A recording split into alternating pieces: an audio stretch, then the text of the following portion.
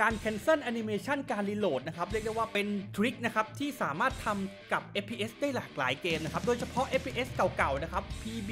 Special Force อะไรแบบนี้เนี่ย เรียกได้ว่ามันทำให้เพื่อนๆ เนี่ยสามารถข้ามแอนิเมชันส่วนการ reload บางส่วนนะครับ และสามารถยิงได้ทันที อาจจะทำให้เกิดภาพแปลกๆ แบบซองควงแบบ PB แบบเนี้ย เกมยุคหลังๆนะครับก็เลยทำการเปลี่ยนนะครับให้ผู้เล่นเนี่ยจะต้องทำแอนิเมชันการ reload ให้ครบก่อนนะครับถึงจะยิงได้ครับอย่าง Call of Duty Modern Warfare 2นะครับก็จะบังคับนะครับให้เพื่อนๆเนี่ยต้อง reload ให้เต็มแอนิเมชันนะครับถ้าเราขาดส่วนใดส่วนหนึ่งไปเนี่ยการหยิบเอาปืนออกมาครั้งต่อไปนะครับก็จะทำส่วนนั้นต่อครับแต่ก็มีบางเกมนะครับที่ขั้นกว่าไปกว่านั้นอีกนะครับนั่นก็คือถ้าเรานะครับ ทำแอนิเมชันอื่นตอน reload เนี่ย การ reload นั้นจะหยุดตรงนั้นทันทีครับ เวลาเปลี่ยน mag นะครับ เปลี่ยนแอนิเมชัน magazine เนี่ย ก็จะไม่ได้ใส่ไปที่ปืนนะครับ โดยที่จะมีกระสุนเนี่ยค้างอยู่ในรังเพลิงอยู่แค่นัดเดียวนะครับ สิ่งนั้นนะครับเรียกว่า state reload นั่นเอง การจะ reload เนี่ยก็ต้องใจเย็นๆกันหน่อยครับ